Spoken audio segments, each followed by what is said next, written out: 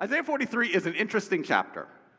It's also a possibly con- confusing chapter. So, we're going to go on a journey together through this text so that we can understand not only what the Lord is saying to us through it, but also what it requires of us. Now, this, this week, uh, what's especially on my heart, soul, and mind is how we do so in this particular nation a nation with the particular history that we have, a nation founded upon political and economic exploitation and violence, and in some ways, a nation that continues to spend more time and resources insisting that wounds, that insisting that, that those wounds have already been healed rather than actually healing those wounds.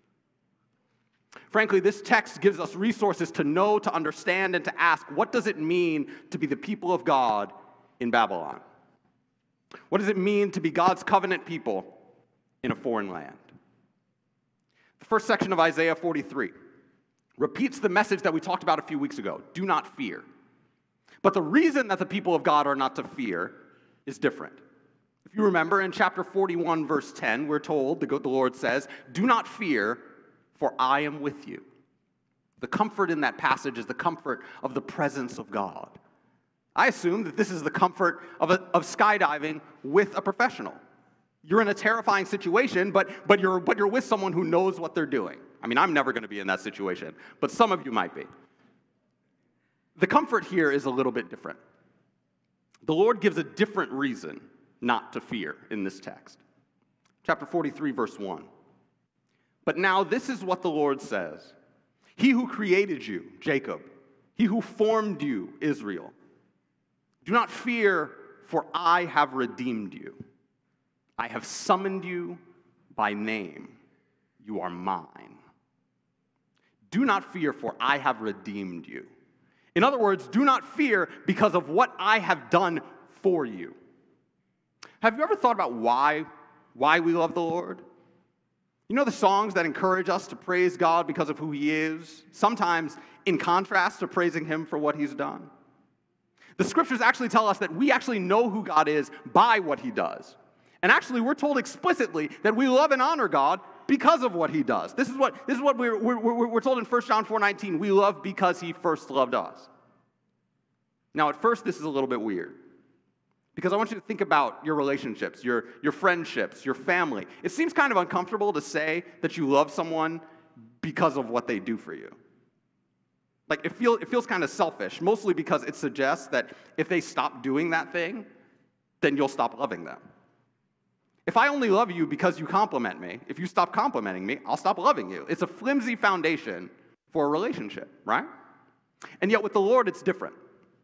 The people of Israel are told not to fear because God has already redeemed them. That is, don't fear, not just because God is, is the kind of God who redeems, but because he has specifically redeemed you. I want you to hear these first four verses of this chapter in all of their very specific comfort, starting with, I have summoned you by name. I have summoned you by name. You are mine. When you pass through the waters, I will be with you. And when you pass through the rivers, they will not sweep over you. When you walk through the fire, you will not be burned. The flames will not set you ablaze, for I am the Lord your God, the Holy One of Israel, your Savior.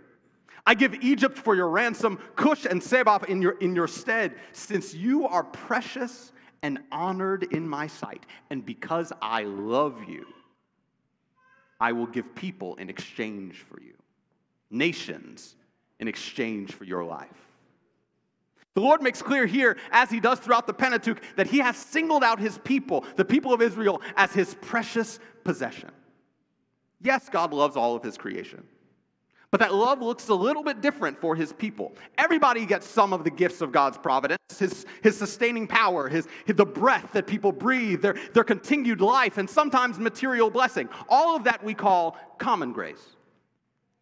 But the people of God, who have been called by God by name, God's people, they receive a slightly different kind of grace, a, a saving and redeeming grace.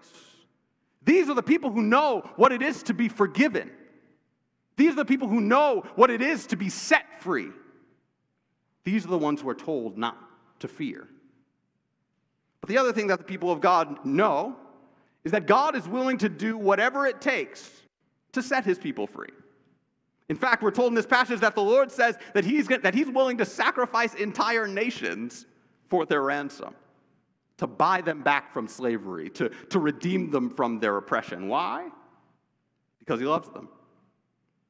It's verse 4 they are precious and honored in his sight. The Lord saves because the Lord loves. And the Lord saves like no one else does because the Lord loves like no one else does. And this, this text presses, yes, the love and the salvation of God, but it also presses the redemptive creativity of God. This is the primary thrust of the passage that we just read, verses 16 to 21. This is what the Lord says He who made a way through the sea, a path through the mighty waters, who drew out the chariots and horses, the army and reinforcements together, and they lay there, never to rise again, extinguished, snuffed out like a wick. I want to pause there for a moment. Because the Lord is obviously recalling a very specific incident, an incident that the people of God are supposed to constantly remember, an event that cements the character of God in the minds of his people. The, the, the event that tells the people of God, who is this God? It's the Exodus. Remember? It's like he's telling the people, remember, re- re- remember when the Lord brought you to the edge of the sea and you didn't know where you were going to go, and he parted that sea, and you walked on dry land, pursued by the army of the enslaver, and what did the Lord do? He crashed the seas upon them to save you. Given that he's that kind of God, God says in verses 18 to 21 Forget the former things, do not dwell on the past. See, I am doing a new thing. Now it springs up. Do you not perceive it?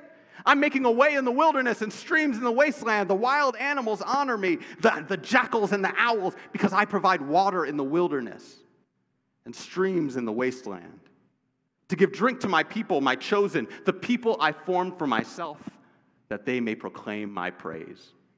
The God that we serve is eager to save in new ways.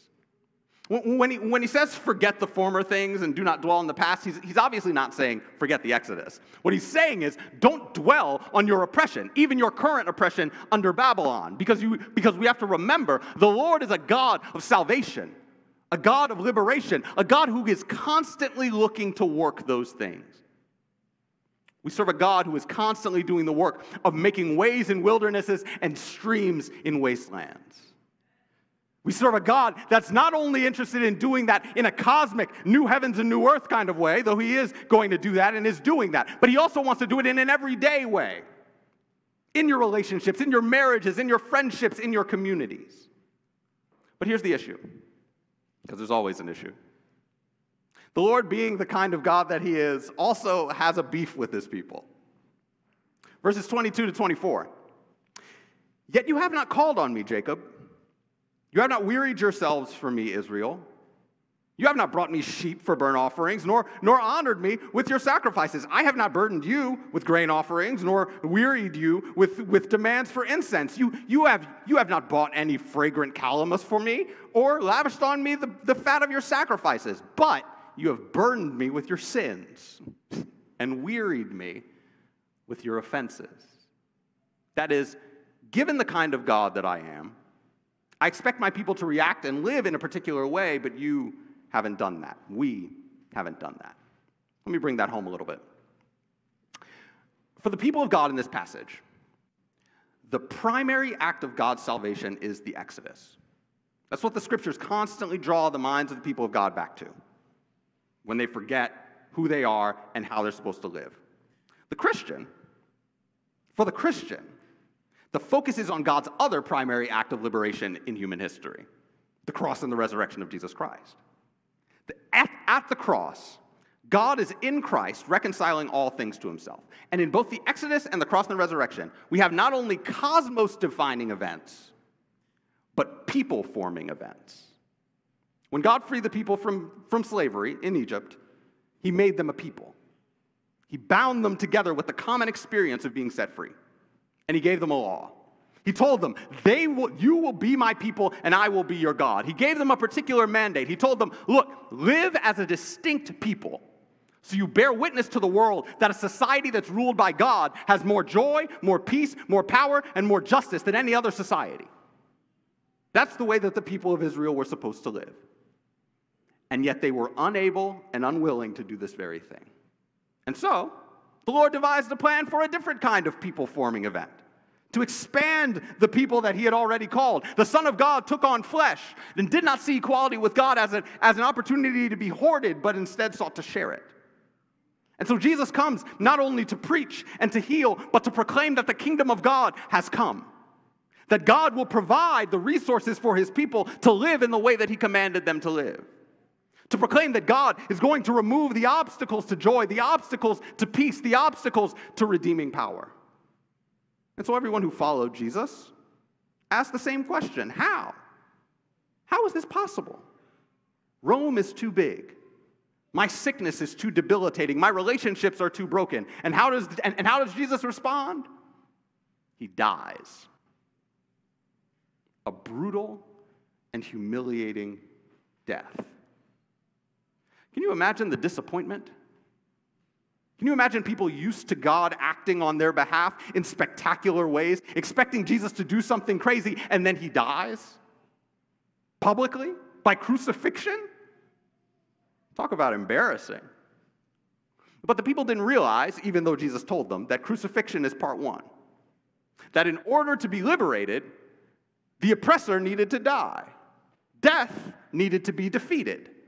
And the way that Jesus defeated death and sin and the devil was by exhausting and embarrassing them on the cross. That symbol of imperial power, dominance, and shame became the very thing that caused that empire of death to fall. Jesus triumphs on and through the cross. The Gospel of John even presses that, that if we're, if we're going to ask the question of where is Christ glorified, the answer is the cross. But the cross is not by itself the people forming event. If anything, when we read the Gospels, the cross seems to break people apart. It seems to be a giant loss. The, the, the, the, disciples go back to their former lives and they think that we've wasted our time and energy on this dude who just gave us false hope. And so Jesus does a new thing, the likes of which nobody had seen before. He got up from the dead. And the moment at which this becomes, this very fact becomes mundane for the people of God is the moment that we fail to be the people that God has called us to be. We serve a God, we serve a Savior who died and came back. And this, and this is in, this is this is the substance of our hope. Because if the Son of God can die and come back, he can do anything. And yet we live lives of fear, of apprehension and worry because we don't think that God's going to do what he, what he said, what, not only what he can do, but what he promised that he will do. You may be facing a situation that you think is intractable, an obstacle that you think is too high, a relationship that, that perhaps has been a thorn in your side for years, or a particular struggle where there are days when you think things will never, never get better. And, I, and it is precisely in these moments when you and I need to be reminded of the kind of God that we serve.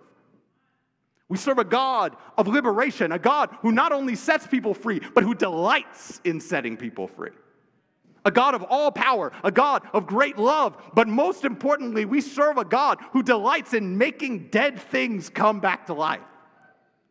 We serve a God who, who creatively creates, who looks at a barren wasteland and thinks, I'm going to make this teem with abundant life. Some of you may look at particular elements of your life and think, this is nothing but a barren, chaotic wasteland. And I encourage you to remember the God that we serve, a God of resurrection as we speak, congregations around this nation are holding Celebrate America and God and Country services. Some of you may be familiar with churches that are eager to proclaim that this country is a Christian nation, and if it isn't now, there are people insistent on making it one. Desiree and I had a great week watching the, the four part documentary on the, on the Duggar family, the 19 kids and counting folks, shiny, happy people. So, one of the most disturbing parts of the documentary is where the cult that they're a part of has this specific program called the Joshua Generation. And its purpose is training Christian homeschool kids to join the highest levels of the American government. The legislature, the Supreme Court, is wild stuff. But it is not uncommon. Here's our heresy of the day it's called dominionism. So, common in some, uh, in, in, in some churches uh, is this understanding that what Christians are supposed to do is embed themselves in the state to bring the kingdom of God to earth. Now, let me be clear about something. That way of thinking is garbage. Yes, it's a strong word. Yes, you're going to think of all these exceptions. I want you to bracket those exceptions for a moment and consider this. You don't bring the kingdom of God to earth. Jesus already did it and is going to do it. The, the, the, scriptures never command you to bring the kingdom. Jesus tells us that you, the church, are the kingdom, and he's going to bring the rest. The kingdom of God does not come through reform. It doesn't come through tinkering with world systems through the influence of family, religion, education, media, entertainment, business, and government. If you don't know what those are, those are called the seven mountains in the seven mountain mandate. The kingdom of God comes through cataclysm. It comes from the creation of new structures from below, structures of justice that we build among the body. See, July 4th is not our most important Independence Day. I mean, it's already not that for me because of the nation's insistence on maintaining chattel slavery while still claiming to be the land of the free. It's also, it's not a church holiday. So be patriotic, sure. Be thankful for the freedoms that we have in this country, even the freedoms that we fought for. But don't think that those freedoms are necessary for us to do what the Lord has called us to do. The people of God were called to be the people of God in Babylon. We have brothers and sisters around the globe who suffer under repressive and persecuting governments. Their distinctiveness is obviously a threat to those governments, and they face persecution because of it. But what about us? Is our distinct material love and support for one another a threat to the exploitative systems we find ourselves in? Is our insistence on brotherhood and sisterhood a threat to the systems of domination around us? Or are we good to blend in? None of the folks None of, none of the things that folks celebrate in the history of this country formed the people of God. And nothing they do or don't do can break apart the people of God. Because, the, because our day of liberation was the day of resurrection. When Jesus got up, ascended, and sent his spirit, he gathered a people who, wherever they were, would, would bear witness to the world that there is no real ruling authority but the triune God. It's not often that confessional documents preach, but sometimes they do. And I'm Presbyterian on most things, but when it comes to political theology, I'm a Mennonite. And so this is what the Mennonite Confession of Faith says about the reign of God. We believe that the church is called to live now according to the model of the future reign of God. Thus, we are given a foretaste of the kingdom that God will one day establish in full. The church is to be a spiritual, social, and economic reality, demonstrating now the justice, righteousness, love, and peace of the age to come. The church does this in obedience to its Lord and in anticipation that the kingdom of this world will become the kingdom of our Lord. We are not here to tell the state how to run. We are here to show the world how to run by living in obedience to Christ. This is the new thing that God has done on the, in the cross. This is, this is God's purpose from salvation. This, this, this is God's purpose in salvation. If we think about the purpose of the covenant that God made with his people, when he, after, he not just the, there's, there's the covenant he makes with Abraham, and, and then there's the covenant that he makes with his people after freeing them from Egypt. But throughout the Old Testament, we're told that he promises to his people, I will be your God, and you will be my people. The cross and the resurrection extend that covenant and, and remind us that it applies to all those who place their faith in Christ. You will be God's people, and He will be your God. That means that He gives you the will and the resources to live lives of justice, of righteousness, of love, and, and of peace. That you can't live apart from Him. That, dear brother and dear sister, is the good news that when you repent and believe, the Lord doesn't merely make you a new person, He does that. He, you, you are born again, but you're born again into a new family. You're born again into a new kind of society. And let me add one more thing to tie it even tighter. Isaiah 43 25 is a mind blowing verse. I, even I, am he who blots out your transgressions for my own sake and remembers your sins no more. For my own sake. The Lord forgives you for his sake. Yes, his forgiveness helps you. And yes, he does it because he loves you, but he also does it for him. What is he talking about? The Lord is drawing attention to the fact that God always keeps his promises. And so when he said that his people are going to be his people, and he said that he's going to be their God, he meant it. Covenants are only as strong and reliable as the people making them. Many a marriage has been actively broken by infidelity, by abandonment, or by abuse. Many a promise has been broken in our friendships and in our, and, and in our other relationships. But God is saying, when I make a promise, I'm putting myself on the line for it. He materially showed us that when he sent his son to die. But here God says it I'm saving you so that you make me look good. When the Lord makes that promise, he does so knowing that we, being the fickle, sinful people that we are, are going to mess up. And so we're told in Hebrews 6:13, when God made his promise to Abraham, since there was no, no one greater to, to swear by, he swore by himself. And verse 17, because God wanted to make the unchanging nature of his purpose very clear to the heirs of what was promised, he confirmed it with an oath. Sounds self serving, but it's not because the Lord of our salvation is awesome, and we should have no problem showing people that that's the case. The Lord has one overarching intention for his people, dear brother and dear sister that they, that we, would by our love for one another show the world the future to come and invite them to that future.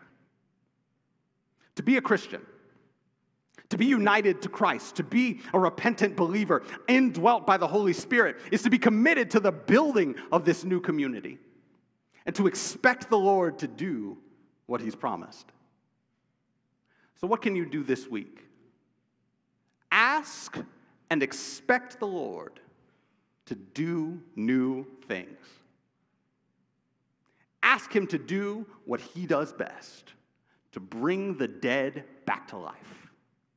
And while you engage in that asking, live lives that reveal to your coworkers, to your family, to your friends and others how good the God, how good the God you serve is. Your willingness, you and you and I, our, our willingness to look to one another's interests, or in other words, our willingness to love our neighbor, is going to be surprising to folks.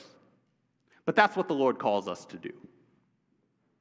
Live lives in the confidence that the God that you serve is making all things new.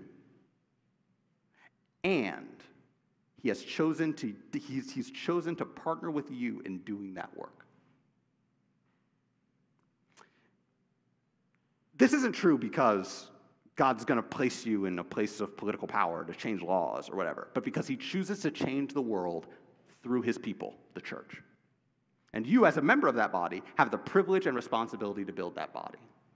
A body of deep, of deep economic solidarity, a body of, of deep sacrificial love, and a body that draws its strength and its power from its head, Jesus Christ. Isaiah 43 is a specific word of comfort from God to his people. A word from a God who loves fiercely and without compromise. To Israel, He's saying that Babylon doesn't have the last word because God had the first word and every word to follow. We serve a God who's not only willing to give up everything, but who actually did so that you might live. It's a chapter that sometimes feels, I think, like a kind of whiplash back and forth, but it's because that's how that's sometimes how real relationships go. And God has called you to be a part of this very real people. And so when you look to your right and you look to your left, don't just see men and women whom you happen to sit with today. See a brother or sister whom God fiercely loves. And go and live accordingly. Let's pray.